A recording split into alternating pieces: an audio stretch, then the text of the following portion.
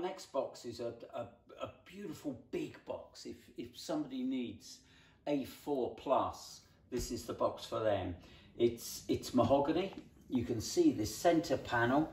They've taken it right through a bough. So you've got this wonderful um, kind of knot in the middle and then outside is all cross-banded mahogany. It's um, edged and inlaid with boxwood. And then when you when you open the box, it's it's we've relined it, um, but it's a lovely big empty writing slope. Uh, it's got a working lock and key. It's a little bit temperamental, the key. Sometimes you have to shake the box to get it to open. If it locks, you just, on its side, give it a shake, and that comes across. But beautiful box in beautiful condition. Say, dates to 1820, um, a, a great keepsake box or office box. Thank you very much.